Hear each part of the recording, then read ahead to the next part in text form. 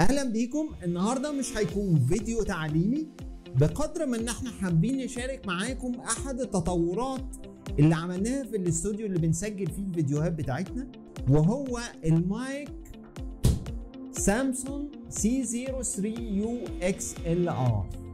لو لسه ما اشتركتش في القناة اضغط subscribe فعل الجرس عشان توصلك الفيديوهات الجديدة. لو عجبك الفيديو اضغط like عشان تشجعنا نكمل.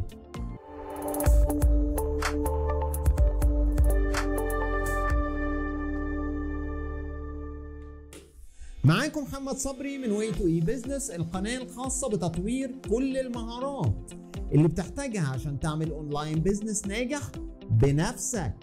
النهارده مش هيكون فيديو تعليمي بقدر من إن إحنا حابين نشارك معاكم أحد التطورات اللي إحنا عملناها في الاستوديو اللي بنصور فيه الفيديوهات والتطورات اللي مرينا بيها لغاية ما أخدنا قرار هذا التطور.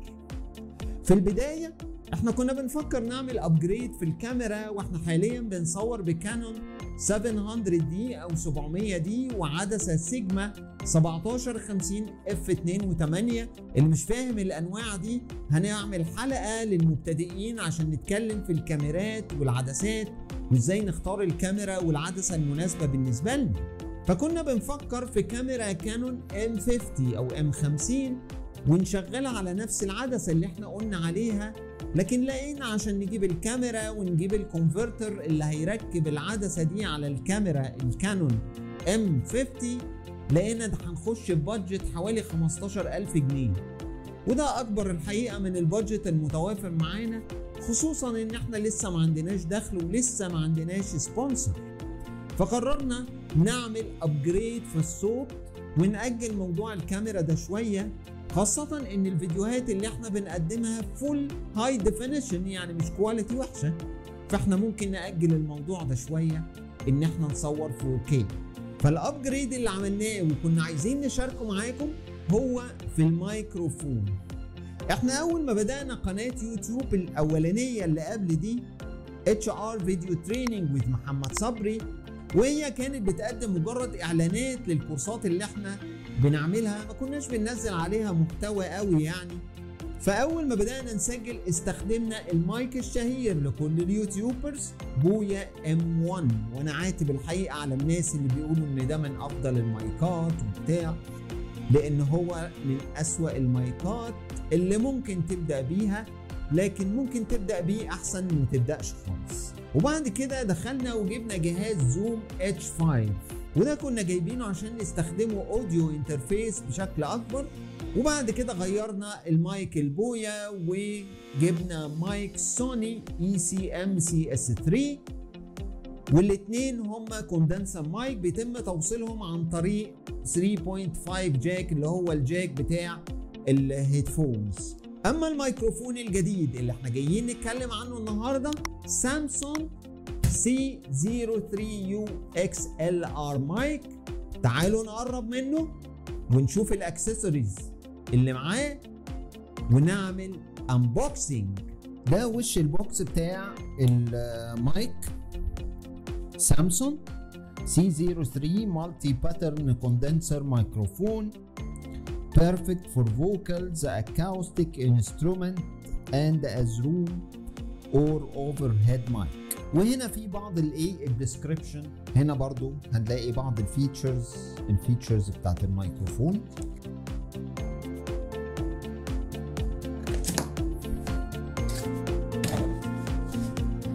wow. جوه ال box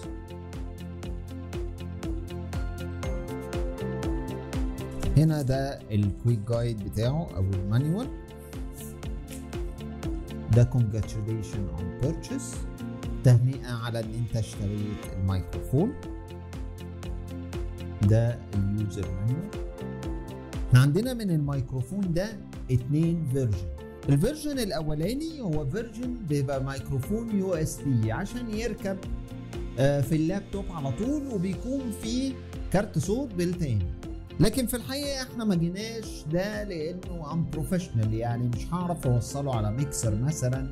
مش هعرف أوصله على audio interface فبيبقى للمبتدئين أكتر.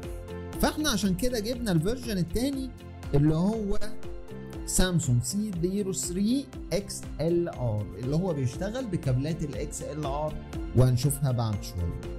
كمان لأن المايكات ال USB هي الناس المبتدئين مش professional فعشان كده مش عاملينها في شنطة زي دي. بص دول hard case شنطة بلاستيك hard case محترمة جدا عشان نقدر نحفظ بيها الميكروفون.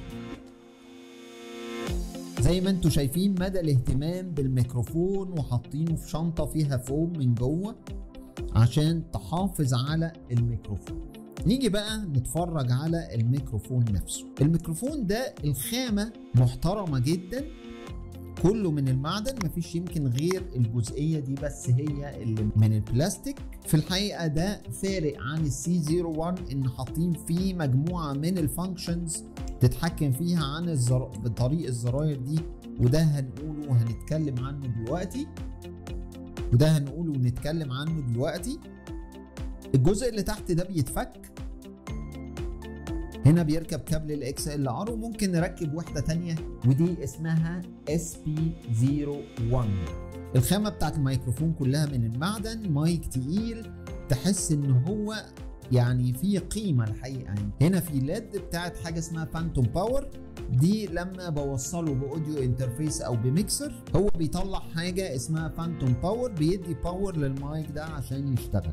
الزرار الأولاني ده اسمه ال pad switch هتلاقي فيه minus 10 dB وفيه zero لما بعمله على minus 10 dB ده يقلل لي حساسية الميكروفون. عشان لو أنا مش عايزه يلقط أصوات من حواليه. الزرار التاني فيه اختيارين في ال high pass وده اسمه ال low cut. بستخدمه في إيه؟ بستخدمه عشان أقلل الترددات اللي أنا مش عايزها صوتها يلقطها الميكروفون الظهر هنا فيه ثلاثة pattern الزرار بيعمل ثلاث حركات. ال pattern الأولانية خالص اللي هي شكل دايرة دي بنسميها ال super cardioid طب دي لما بعملها بتعمل إيه؟ بتسجل من الاتجاه الأولاني اللي هو ده. ما تسجلش من ورا. وده بستخدمه جوه الاستوديو بيكون بشكل أفضل ليه عشان ما يلقطش من الأصوات اللي حواليا.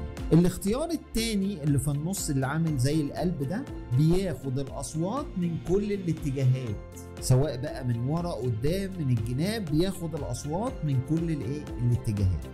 الباترن الثالث اللي هو على شكل 8 ده بيسجل من اتجاهين قدام وورا بس.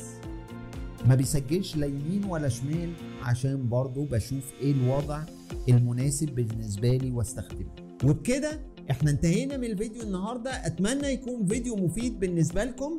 في انتظار دعمكم لينا بال like على الفيديو. لو لسه ما اشتركتش في القناة اضغط subscribe.